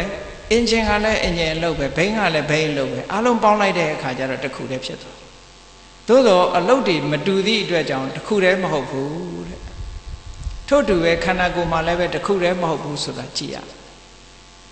အဲ့ဒါတွေတစ်ခုတည်းလို့ထင်နေတာဘာဖြစ်လို့လဲဆိုရင်ကားကလမ်းပေါ်ပြေးနေတာဒီတစ်စင်းနဲ့ပြေးနေတာမဟုတ်တစ်ခုတည်းလို့လူကထင်နေတာအမှန်တော့စုလုပ်နေတာဟုတ်ကဲ့ အဲ့ဒီသဘောတွေကိုစဉ်းစားတွေးခေါ်ပေးတာဒါ contemplation လို့ခေါ်တယ်အနုပဒနာဖမှန်ရှုရမယ်အဲ့ဒါကကိစ္စခဏလို့ခေါ်တယ်အာရမဏခဏအာယုံတစ်ခုတည်းဆိုရင်တစ်ခုတည်းကိုစုပြုံပြီးပြုသည့်အတွက်ကြောင့်အာရမဏခဏနောက်ကိစ္စခဏဆိုတာ function ကတစ်ခုတည်းတယ်ဥပမာပဲစက္ခုဒွါရမှာဖြစ်ပေါ်လာတဲ့စိတ်တွေအလုံးဟာရူပယုံကိုမြင်တဲ့ကိစ္စကိုဆောင်ရွက်ကြတာဖြစ်သောကြောင့် တစ်ခုတည်းလို့ထင်ရတယ်အမှန်တော့မဟုတ်ဘူးအဘိဓမ္မာသင်တဲ့ပုဂ္ဂိုလ်တွေသိတယ်ဟုတ်လားတခုတည်းမဟုတ်ဘူးစိတ်အစဉ်ဟာတခုပြီးတခုတခုပြီးတခုချုပ်သွားတာသူ့အလုပ်သူလှုပ်သွားကြတာဒီစိတ်တွေထဲမှာပြောမယ်ဆိုလို့ရှိရင်စက္ခုဝိညာဉ်စိတ်နဲ့တမ္ပတိဆိုင်ကလည်းတွေးလိုက်တာမရှိဘူးတမ္ပတိဆိုင်နဲ့တန်တိရဏကလည်းမတွေးဘူးသူတို့ဘယ်တော့မှမတွေးဘူးဟုတ်ကဲ့နောက်ဆုံးပဲပင်စရရဝိဇန်စိတ်မတွေးဘူး တခုနဲ့တခုမတွေးလိုက်ကြဘူးသူကိစ္စသူဆောင်းသွားကြတာလှုပ်သွားကြတာသို့တော်လည်းတခုတည်းလို့ထင်နေတာဘာဖြစ်လို့ကိစ္စခဏအာရမဏခဏဟောအဲ့ဓာတွေကိုမမြင်သမျှအနတ္တဆိုတာဘယ်လိုမှမသိနိုင်ဘူးဒါကြောင့်မို့လို့အဘိဓမ္မာနဲ့ဝိပဿနာဆိုတာအမတန်မှဆက်နွယ်ပြီးတော့နေတယ်လို့ပြောတာနော်ခဏဝိနိဘောကခဏကိုခွဲခြားစိတ်ဖြာပြီးတော့ဖြည့်ရှင်းပြနိုင်တယ်တဲ့ဖြည့်ရှင်းပြနိုင်တဲ့အတွက်ကြောင့် အနတ္တဆိုတဲ့သဘာဝဟာပို့ပြီးတော့ထင်ရှားလာတယ်ခွဲခြားစိတ်ဖြာမှုပြောသည့်အတွက်ကြောင့်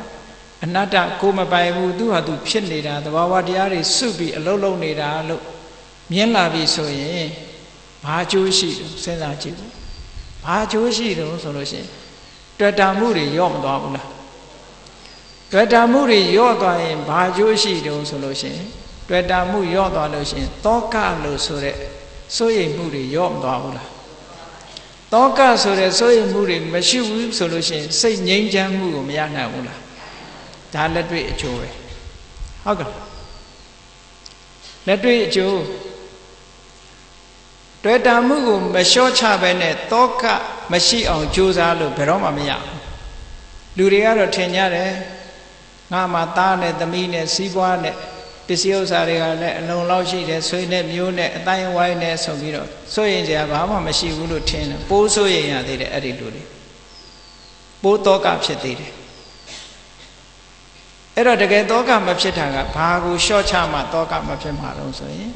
တွေ့တာမှုကိုလျှော့ချနိုင်မှတောကမရှိတာဟာတဲ့အတွေ့တာရှိနေသေးရင်တောကဆိုတာလားနေဥမှာပဲအတွေ့တာရှိနေတဲ့နေရာမှန်သမျှတောကရှိနေတယ်လို့ဒီလိုမှတ်ရတော ကရှိနေသေးသမျှဘယ်တော့မှစိတ်ငြိမ်းချမ်းမှုဆိုတာမရနိုင်ဘူးတဲ့ဒါအကြောင်းနဲ့အကျိုးဒီလိုဆက်နေတာအဲ့တော့ဝိပဿနာဉာဏ်နဲ့မျက်လုံးဆိုတာလေးကိုကြည့်လိုက်မယ်ဆိုလို့ရှိရင်ခုလိုခွဲခြားစိတ်ဖြာပြီးမျက်လုံးဆိုတာအ ਨੇ ဆုံးရုပ်ရှိခုပေါင်းထားတာပါလားအဲ့ဒီလိုရုပ်ရှိခုပေါင်းထားတဲ့မျက်လုံးကလေးမှာအဆင်းအာယုံဆိုတာလေးလာပြီးထင်ဟလိုက်တာနဲ့တပြိုင်နက်စက္ခုဝိညာဉ်စိတ်ဆိုတာလေးပေါ်လာတယ် ကြည်အဲ့ဒီထဲမှာဝိပဿနာဉာဏ်ကဘာထပ်ပြောထားတော့ဆိုရင်မျက်လုံးလို့ခေါ်တဲ့အရာလေးကလည်းပဲအမြဲတမ်းလှုပ်ရှားပြောင်းလဲပြီးတော့နေတဲ့အရာတစ်ခုဖြစ်တယ်။မြင်စရာအာယုံလေးကလည်းအမြဲတမ်းလှုပ်ရှားပြောင်းလဲနေတဲ့အရာလေးတစ်ခုဖြစ်တယ်။အဲ့ဒီနှစ်ခုဆုံလိုက်ချင်းကြောင့်ဖြစ်ပေါ်လာတဲ့စက္ခုဝိညာဉ်စိတ်ကလေးဟာဘယ်လိုလုပ်ပြီးတည်ငြိမ်လို့ရမှာတော့တဲ့။ဟုတ်ကဲ့လား။မြတ်စွာဘုရားကဟောတယ် အနိစ္စတံဘူတံကုတောနိစ္စံဘဝိတ္တိမမြဲတဲ့တရားကမွေးထုတ်လိုက်တဲ့အရာဒီဘယ်မှာမြဲမလဲကြည့်စက္ခုပတာရမျက်လုံးနဲ့အဆင်းအာယုံလေးနှစ်ခုကမွေးထုတ်လိုက်တဲ့စက္ခုဝိညာဉ်စိတ်ကလေးဒီဘယ်မှာမြဲလို့ရမလဲစက္ခုဝိညာဉ်စိတ်ကလေးပေါ်လာတယ်မြင်သိစိတ်ကလေးပေါ်လာတယ်မြင်သိစိတ်ကလေးပေါ်လာပြီးတော့ဘာဖြစ်တုံးဆိုရင်မြင်သိစိတ်ပေါ်မှာအဆက်အသွယ်မှုရလာတာလေးပေါ်လာတယ် အဲ့ဒါကိုစက္ခုတံဖတ်တာလို့ခေါ်တယ်အဲ့ဒီစက္ခုတံဖတ်တာဆိုတဲ့ဒီသဘာဝတရားလေးဟာလေမမြဲတဲ့သဘောတရားပြောင်းလဲနေတဲ့သဘောတရားတဲ့အဲ့ဒီလိုအာယုန်နဲ့စိတ်နဲ့ကြုံသွားပြီဆုံသွားပြီထိသွားပြီဆိုရင်ဘာဖြစ်တုံဆိုရင်ဖုတ်ထောဝေဒေတိတဲ့ဆက်သွယ်ရသွားလို့ရှင် experience အတွေ့အကြုံတွေရသွားပြီဖုတ်ထောစေတေတိ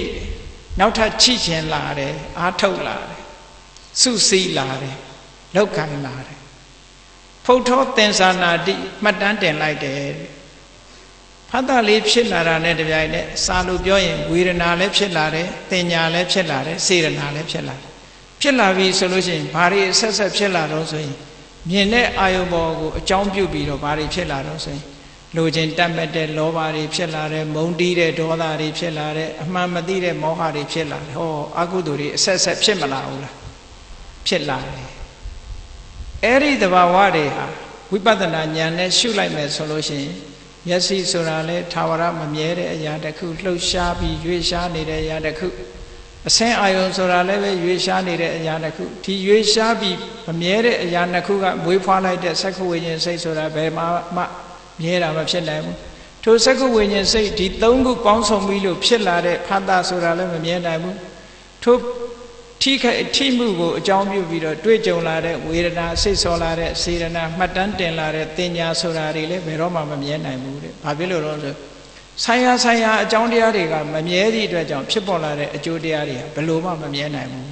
။တေတတ်တဲ့အမေအဖေကမွေးတဲ့သားသမီးဟာတေးကိုတေးမှတေးချာ။ဟုတ်ကဲ့လား။ အဲ့ဒါလိုပဲရုပ်တရားနံတရားတွေဟာမမြဲတဲ့ရုပ်တရားနံတရားကိုအကြောင်းပြုပြီးဖြစ်ပေါ်လာတဲ့ရုပ်တရားနံတရားတွေဟာအလုံးပျက်စီးမှကြီးပဲလို့ဒီလိုမြတ်စွာဘုရားကတာယုတ္တနိကေမှာဓွာယတုတ်ဆိုတာဟောထားတာရှိတယ်အဲ့တော့အဘိဓမ္မာတရားကိုလေ့လာမှတ်သားသင်ယူခြင်းဖြင့်အခုလိုဝိပဿနာအသိဉာဏ်တွေဟာမြင်တဲ့အခါမှာမြင်တဲ့အခိုက်မှာဝိပဿနာရှုလို့ရသွားတယ်ကြားရင်ကြားတဲ့အခိုက်မှာလည်းပဲ ဝိပဿနာရှုလို့ရသွားတယ်နံလို့ရှိရင်လည်းနှာခေါင်းနဲ့နမ်းရှူတဲ့အခါမှာနမ်းရှူတဲ့အခိုက်မှာလည်းဝိပဿနာရှုလို့ရသွားတယ်။ထမင်းစားတဲ့အစာအာဟာရစားလို့လျှာနဲ့အရသာတွေ့တဲ့အခါမှာလည်းဝိပဿနာရှုလို့ရသွားတယ်။ဟောခန္ဓာကိုယ်နဲ့တခုခုဥပမာပဲကလထိုင်ပေါ်ထိုင်နေတယ်ကိုယ်ခန္ဓာကိုယ်နဲ့ထိနေတယ်ဟောထိမှုကိုအကြောင်းပြုပြီးတော့လည်းဝိပဿနာရှုသွားနိုင်တယ်။နောက်ဆုံးမှာမြင်မှုကြားမှု နာမှုလျက်မှုထိမှုဆိုတာတွေအသာထားပြီးစိတ်ထဲမှာဖြစ်ပေါ်လာတဲ့တဘာဝတရားကို ရှုမှတ်ခြင်းလည်းပဲဝိပဿနာဉာဏ်ဖြစ်နိုင်တယ်လို့အဘိဓမ္မာနဲ့ဝိပဿနာဆိုတာယခုကဲ့သို့ဆက်ဆက်ပြီးနေတာဖြစ်သောကြောင့်အဘိဓမ္မာကိုသင်ယူလေ့လာခြင်းဖြင့်ပညာတံပရာတကယ်အစစ်မြင့်တဲ့ပညာမျိုးကိုရနိုင်တယ်။ထိုထိုအစစ်စစ်နဲ့ပညာကိုအကြောင်းပြုပြီးပဋိသင်္ပိတာဉာဏ်၄ပါးဆိုတာကိုရနိုင်တယ်ဒါကြောင့်မို့တရားချစ်ခင်သူတော်စင်ပြိဋ္ဌတ်တို့သည်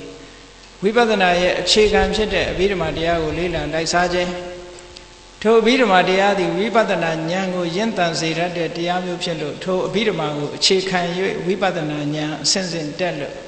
တန်တရားတစ်ခွင်ကမိမိတဏ္ဍာမှာဖြစ်ပေါ်လာတဲ့တွေ့တာမှုဆိုတဲ့လောဘတရားမုန်းတိမှုဆိုတဲ့ဒေါသတရား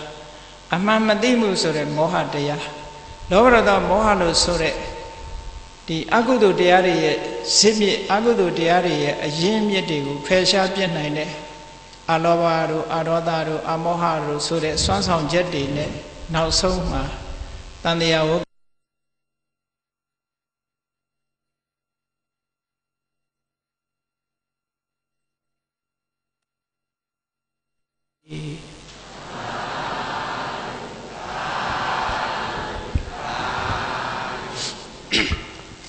မေတ္တာပို့ရအောင်တတ္တဝါများစွာဘေးရန်กว่าချမ်းသာကြပါစေတတ္တဝါများစွာဘေးရန်กว่าချမ်းသာကြပါစေမေတ္တာရေချမ်းသောငါဖြံ ငြိမ်းချမ်းကြပါစေမေတ္တာရေချမ်းသောငါဖြံငြိမ်းချမ်းကြပါစေသက်ရှိချမ်းပါစိတ်ချမ်းသာလူရဆန္ဒပြည့်ပါစေသက်ရှိချမ်းပါ စိတ်ချမ်းသာဒုရဆန္ဒပြည့်ပါစေဓမ္မောတရံပိဝိတဝါနဝိသာတဗေတမုဟတအစရမရာတိတိဘာဝနိဗ္ဗာနံ